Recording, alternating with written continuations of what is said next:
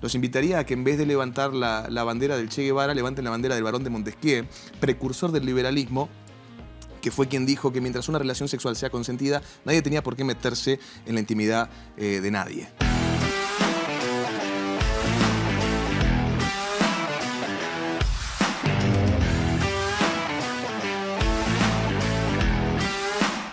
Un invitado internacional. No, no sé por qué me da la sensación que hay tantas mujeres acá por él, lo que vamos a presentar a continuación. Pero bueno, señoras y señores, nuestro segundo invitado de hoy viene llegando directamente desde Buenos Aires, Argentina, nuestros hermanos Allende de los Andes. Es un cantante, actor, DJ, conductor de radio y TV. Tiene más, más currículum que Oscar Céspedes. Entre miles de cosas más. Hoy en El Disidente tenemos el orgullo de presentar a uno de nuestros referentes, por supuesto, al capo que la rompe en todas las plataformas de internet, el ganador de un Martín Fierro en Argentina y, es- y gracias al Centro de Estudios Libertarios está hoy con nosotros acá en El Disidente, Emanuel Dana. ¡Aplausos! ¿Cómo está? Bienvenido. Presento a Gretchen. Mucho gusto. Asiento, por favor, Emanuel. ¿Cómo están? Muchas gracias. Muy bien. te Quería hacer una entrada parecida a la del presidente de ustedes, Boric, acomodándome el cierre del pantalón. Pero hubiera sido un escándalo porque no uso ropa Te interior. agradezco que lo dices, porque de esa manera partimos bien. mejor. Sí, eh, Oye, lo supuse. ¿Llegaste cuándo? ¿El fin de semana? Eh, no sé cuándo llegué ya. ¿El domingo? domingo, sí, sí. Y, y lo primero que notaste, porque ya te vi que estuviste en algunos medios de comunicación amigos también, en otros programas, Sí. ¿qué, qué fue lo que notaste así, por ejemplo, ya en estos poquitos horas que lleva en Chile conociendo lo que es la contingencia nuestra, que supongo ya te empapaste bastante con esto de la Sí. política? ¿Hay algún punto de comparación con lo que está pasando en Argentina? Yo ¿Se puede noté- relacionar? yo lo que noté es que ustedes están completamente locos, completamente locos. Me enteré que la, la nueva constitución de ustedes la, la está escribiendo eh, Pikachu y el dinosaurio Cristóbal. Y nosotros en la Argentina estamos muy mal, estamos muy mal. Pero no llegamos tan lejos. No tenemos a Pikachu redactando nuestra es que carta escrita, magna. Ya está escrita. Oye, en términos, hay. en términos de violencia, tampoco han llegado tan lejos como nosotros, ¿ah? quemando No, sí, estaciones sí. de metro. Sí, por supuesto que sí. ¿Sí? Sí, sí. Tienen que ir a Rosario de vacaciones ustedes. Nos, va- nos vamos a ir para allá todos. Sí. Oye, dicho esto, que hemos estado, eh, nosotros hemos estado toda la semana en realidad pensando en ti. Pero, Me imagino. pero. Ella sobre todo. eh, Por me honra. Me- mejor que- mejor que pensando- yo. Me honra, me honra. Hemos estado pensando en ti, pero sabes que es bien importante que nosotros podamos ver qué es lo que tú haces en Argentina. Así que a ver si podemos ir a mirar. Una, pincelada, ¿no? a eso que hemos preparado para todos ustedes. Boludos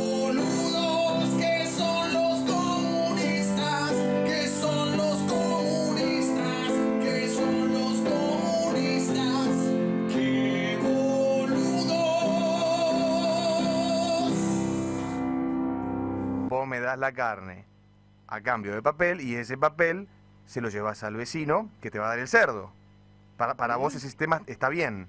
Y sí, está perfecto, porque ahí no se, no hay un desbeneficio para los pobres, digamos. No hay bicicleta financiera. Bueno, bueno, si ahora yo te digo, el vecino era el carnicero y el papel que le dimos eran 10 dólares. Bienvenido al capitalismo, Martín.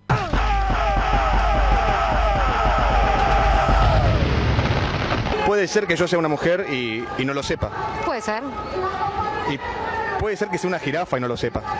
Mm, No, porque mm, sos ser humano primero. ¿Por qué? Porque, Es una construcción en realidad que nos dio la biología a través de la ciencia que siempre ha sido dominada por el hombre blanco. bueno, está bien. Eh, sí, también es una construcción eh, como categoría. Claro. Eh, si vos te sentís jirafa, está bien. ¿Por qué, por ejemplo, yo no soy una mujer? Porque vos no te sentís mujer o porque te sentís mujer pero no te sentiste con la libertad de expresarla. O sea, puedo llegar a ser una mujer y no saberlo.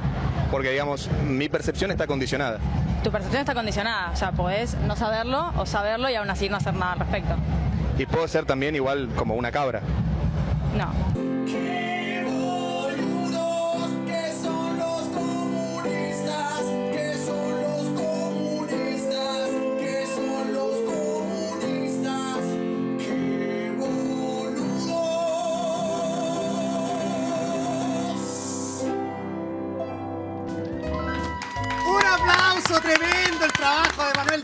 Haciendo en Argentina. Por supuesto, gracias a esto de las redes sociales lo podemos conocer acá también en Chile. Te cuento, Manuel, que nosotros esas canciones tuyas la- ya las tenemos en nuestro playlist. Bueno, esa que pusieron eh, eh, la estamos proponiendo para que sea nuestro nuevo himno nacional. Pe- pero a propósito. Tiene un contexto muy, muy extraño eso. Sí, sí. pues, después, después nos Sí, vamos a estar deteniendo en eso, pero Con te quiero preguntar porque me llama la atención viendo tu trabajo en Argentina, que nosotros conocemos mucho de la historia de tu país. Un país que donde el peronismo lleva tanto, tanto, tanto, tanto tiempo, ¿cómo es posible que aparezca una persona como tú haciendo este trabajo? Se, se veía, si me lo contaban hace 10 años atrás o 15 años atrás, decía, esto es imposible. Sí, ¿Cómo fue ese proceso? ¿Cómo te fuiste metiendo a la gente y ganando tantos seguidores? debo ser un error. De la Matrix. De la Matrix. No, quizás también el hecho de, de- de- de nosotros, y yo lo hablaba en, en un, en un programa este, aquí mismo, ayer, eh, el hecho de, de- de tener hace tantos años el mismo sistema y ya estamos viendo y sufriendo y, y- y sintiendo en, en carne propia el fracaso, y, estamos, y ya, ya se ha vuelto tan obvio que, mm, que el socialismo es, es- es un relato y, y que en la práctica no- nos destroza y a, quien, y a quienes más perjudica es a quienes menos tienen. Eh, creo que un poco somos, eh, no solamente yo, tengo un montón de colegas que son brillantes y, y- y que hacen un trabajo maravilloso comunicando estas ideas. Eh, creo que, que el hartazgo y, y, bueno, somos la consecuencia de eso. Somos la consecuencia de, de que estamos viendo capaz la, la- la- la caída en nuestro país de, de un sistema de ideas que ha fracasado. Y, y eso, a eso le debemos nuestro éxito. Sí, sí. Así que gracias comunistas y gracias socialistas. Llama poderosamente la atención tanto en Chile como en Argentina también, porque eh, esto de que Argentina en algún momento fue el granero del mundo. Sí. Y lo saquearon una, una y otra y otra y otra vez. Políticos de todos los colores, no tan solo de, de- de la izquierda, de todos lados saquearon tu país, que es un país de los más ricos del mundo hace 100 años atrás. ¿Y por qué siguen eligiendo la misma gente? Entonces, ¿por qué uno se pregunta por qué salen los Kirchner nuevamente? Eh, eh, Es, es una locura también eso. Mira, yo creo que la última elección refleja una catástrofe cultural en, mi pueblo. Eh, ¿Ustedes saben cómo ganó Alberto Fernández la- las elecciones 2019? Él había prometido eh, que los argentinos íbamos a comer asado todos los domingos. Y choripanes. y choripanes eh, y que íbamos a ver fútbol eh, por la tele gratis, es decir, financiado Por el Estado. por el Estado a través de nuestros impuestos. Exacto. Entonces digo, un pueblo que esto no es culpa de los políticos, hay una sociedad cómplice, como dice José Luis Espert, ¿no? Hay una sociedad cómplice que, y esto lo digo yo, ha hipotecado a la patria por una tira de asado. Entonces, lo importante es dar una batalla cultural para que no, no volvamos a elegir populistas y mucho menos populistas de izquierda porque son eh, lo, peor, lo peor que hay y los que no- quienes nos han llevado hacia donde estamos hoy.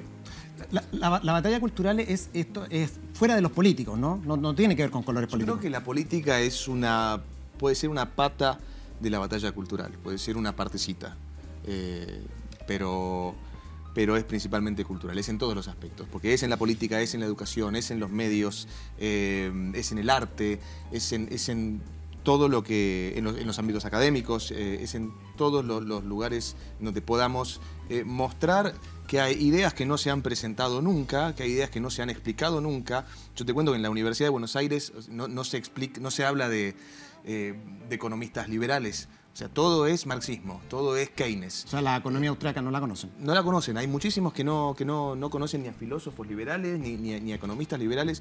Y, y bueno, es nuestra misión en cada ámbito que, que- que nos, por- nos corresponda a cada uno, eh, bueno, dar a conocer esas ideas, dar a conocer a esos autores y, y- y más que nada, hablar desde la sensatez, desde el sentido común y mostrando eh, la realidad. ¿no? Y ya empezamos a escuchar la música de esta sección que se llama Bienvenidos a la A Matrix. la Matrix. Así es que está, está bien la Matrix, ya parece. Yo- No, no, no tenemos que ponernos personificamos como Neo.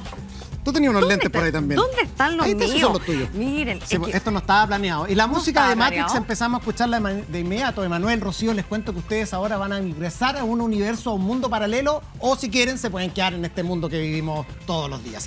Mira, nuestra modeloca, Sí. hoy tenemos modeloca. Mira. Hay que hacerlas todas acá. Mira, yo soy enferma feminista, así que Rocío elige. ¿Qué voy de El rojo va Manuel. Esto no me entra en la garganta, pero bueno. Y ahí lo pueden abrir, por favor. Ah, hay, unos, hay unos eh, números. Que evidentemente le pedimos primero a las damas primero, Sí, caballeros por a la antigua, somos acá. Eh, Rocío, ¿qué número te, te tocó? El uno.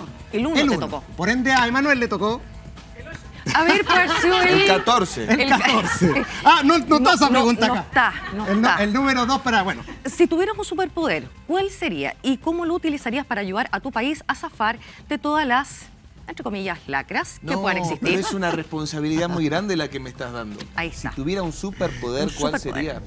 Eh, no, no, volvería a elegir mi superpoder.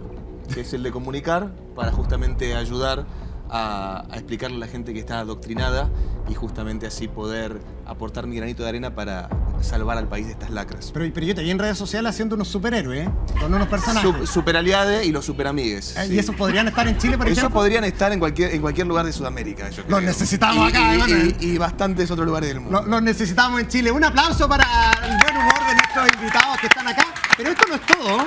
Esto no es todo porque les tenemos otro juego más. El Ay, equipo de producción se esmeró. Esta vez se esmeró el equipo de producción de Pablo Horazo. Tremendamente creativo este equipo. Se pasaron, muchachos. Esto nunca se había hecho antes en la televisión, Rocío Emanuel. Pero mira, inventaron un juego estos cabros. Nosotros no tenemos la culpa de esto, por favor.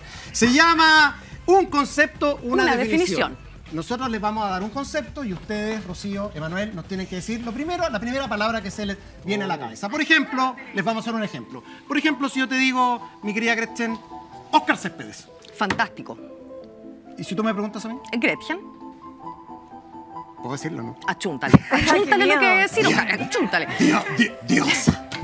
Bueno, Oh. así un poco eh, la dinámica de este juego. Así que tú eh, partes tú preguntándole a Manuel y yo le voy a ir preguntando a Rocío. Dale. Cristina Kirchner, Horror. Fernando Atria. Se cree inteligente.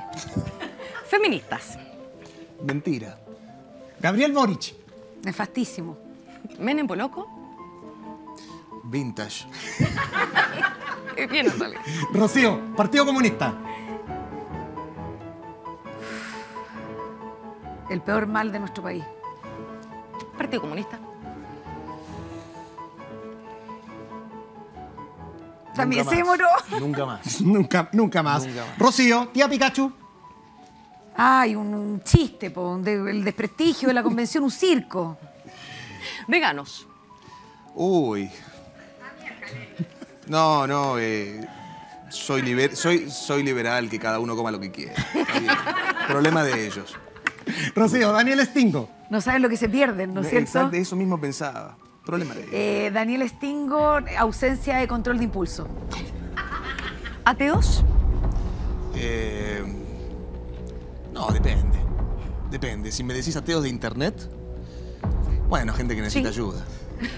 Y los ateos comunes, gente con la que se puede debatir. Rocío, Augusto Pinochet. Eh, el comandante jefe del ejército en un periodo en nuestro país. Estado, En la Argentina, mala administración. Jorge Baradit. Mentiroso profesional. ser figuras públicos, Ñoquis. Isquia Siches. Eh, hipócrita, ignorante. Javier Milei, Un amigo. Apruebo. El siguiente paso para el precipicio de nuestro país. Alberto Fernández, Un títere. Rocío Cantuarias. Ay, me forcé lo que pude en la convención. Eso. Emanuel Danan, Eh, ¿Por qué a mí nadie me dijo eso? Los un, hombres. un- un accidente. Un accidente. Señoras y señores, un aplauso grande para Rocío y Emanuel Danan por su buen humor, su simpatía en este bloque que lo estamos cerrando ya con este tremendo esfuerzo que hicieron nuestro equipo creativo para hacer estos juegos. ¿A quién se le ocurren estos juegos, oye? Oye, Manuel, ¿y cómo se está dando esta, esta suerte de batalla cultural de la que hablan en Argentina? ¿Cómo, cómo lo...? ¿Hay diferencias con Chile? ¿Qué es lo que está pasando allá? Bueno, llegué hace muy poco acá, pero veo similitudes eh, en cuanto al, al discurso que se les baja a la gente joven. Eh, lo que es impresionante es que es... em, nosotros lo que tratamos de, expresar de- cuando damos la batalla cultural es que lo que estamos viendo en, todos estos nuevos colectivos eh, que, que- prácticamente niegan la naturaleza de- del individuo es que todos repiten exactamente lo mismo como si fuera un dogma religioso, ¿no? Y entonces eso nos lleva a pensar que más que revolucionarios, los jóvenes de hoy son adoctrinados. Y como dice Agustín Laje, un gran amigo al que quiero mucho, eh, esta es la primera revolución, entre muchas comillas, que se hace desde arriba hacia abajo y no desde abajo hacia arriba. Y creo que eso es algo en lo que hay que hacer eh, hincapié. Tenemos que expresarnos desde abajo hacia arriba. Nosotros en la Argentina, si se fijan, recién ahora hemos permeado en el sistema. Yo estoy absolutamente vedado de la televisión argentina por, cuestión, por las editoras de género. Editora de género es un término muy lindo para, para lo que antes era un sensor de contenido. Eh, y sin embargo hemos podido, bueno, yo gané un, un premio Martín Fierro, que es el premio más importante de, de Oye, la un aplauso por eso, porque eso es muy importante en Argentina. Martín Fierro lo tenemos acá, un honor para nosotros. Gracias. Y bueno, eh, Javier Milei, Ricardo López Murphy y José Luis Esperta han logrado permear en el, en el establishment político. Entonces digo, es importante eh, ir permeando justamente en el sistema que hoy está dominado por, por, por un progresismo caviar, ¿no? Porque son un montón de, políticos y, y de empresarios y de multimillonarios que están vendiéndonos ideas eh, pseudo marxistas. Nosotros, bueno, mencionabas lo de la revolución. Nosotros en Chile sí tuvimos una revolución no hace mucho, pero fue una revolución bastante violenta. Se que pareció creo- más a un golpe blando que a una revolución. Claro, claro, no fue revolución entre comillas, porque ah, me, me cuelgo de lo que tú estabas diciendo, porque sé que eres bien contrario a un movimiento que fue muy, muy conocido acá en Chile y que vamos a ver un video para que Ricardo y tú nos comenten a la vuelta. Te,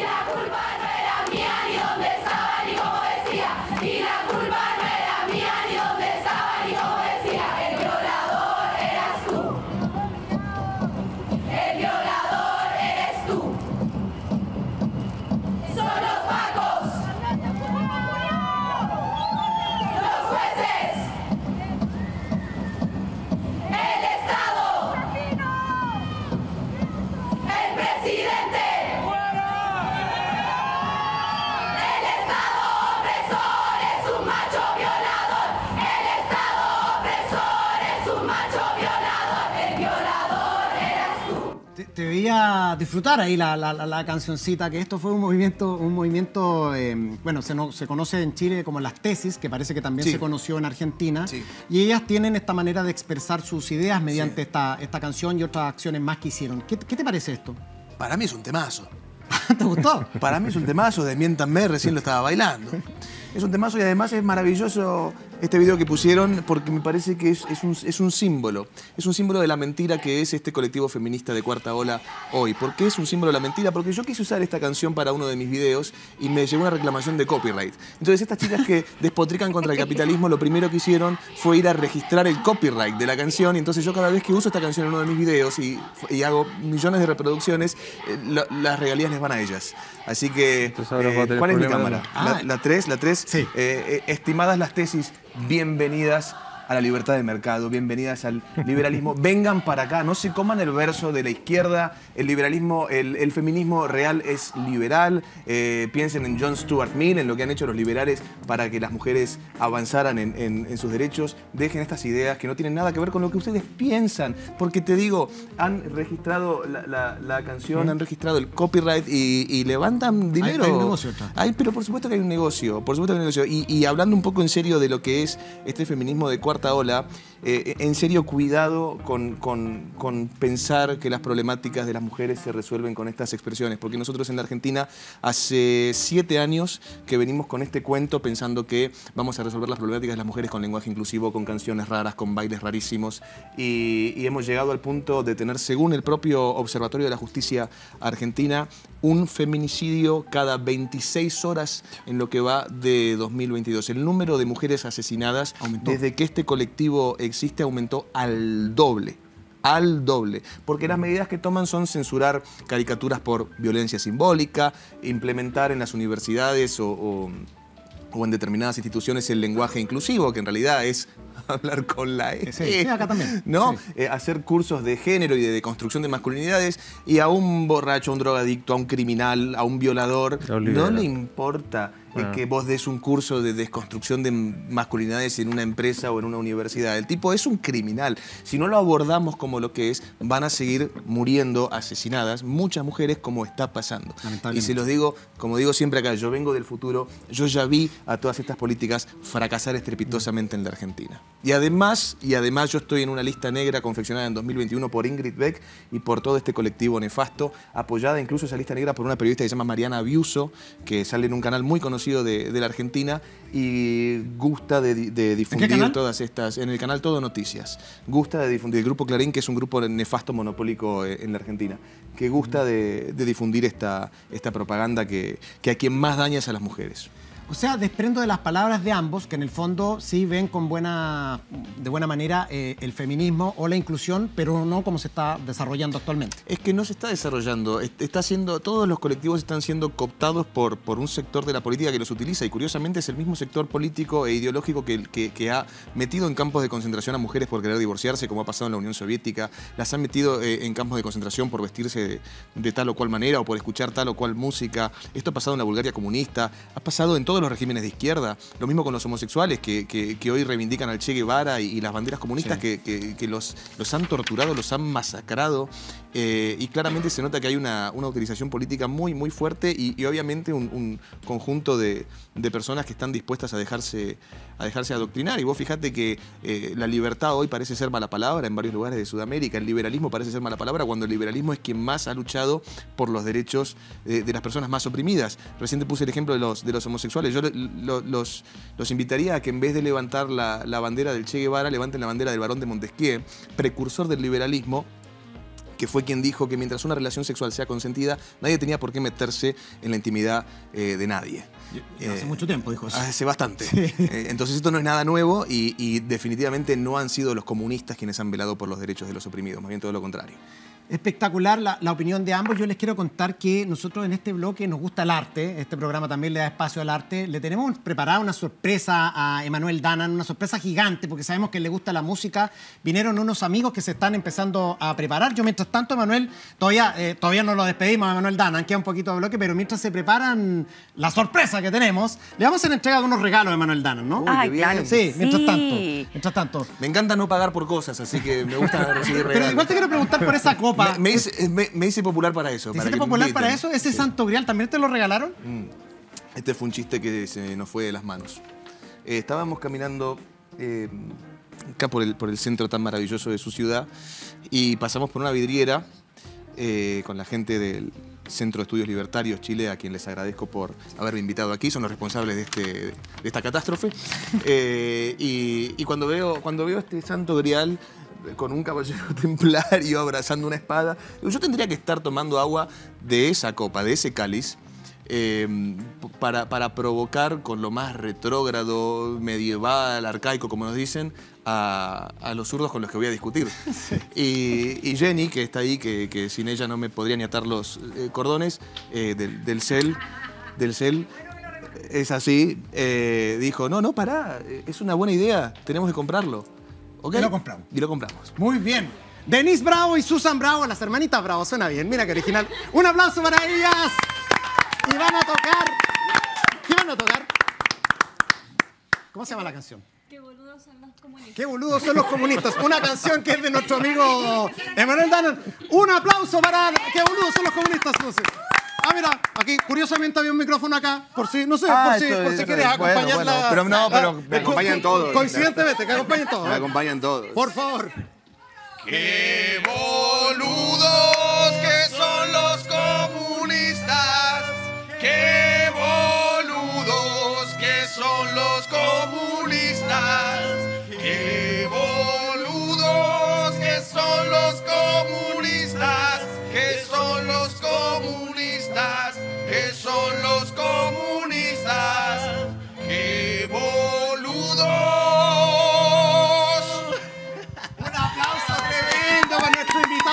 Susan Bravo, Denise Bravo. Gracias por su buen humor. Yo pongo los lentes ópticas, vaya para parecerme a Danan. Y aquí Claro, junto a claro. Danan, junto a Ricardo, junto a Gretchen, señoras y señores. Esto es con mucho humor, con mucho cariño para todos ustedes. Emanuel Danan está dando una tremenda labor allá en Argentina. Por supuesto, quiso venir a Chile a compartir parte de su trabajo con nosotros. Esto es con humor, no se lo, tom- no se lo tomen tan, tan, tan grave. Es con humor, eh, como profesa eh, nuestro amigo eh, Emanuel Danan y nuestro amigo Ricardo. Señoras y señores, dejamos hasta acá el disidente de hoy. Programazo. Disfrútenlo, compártenlo.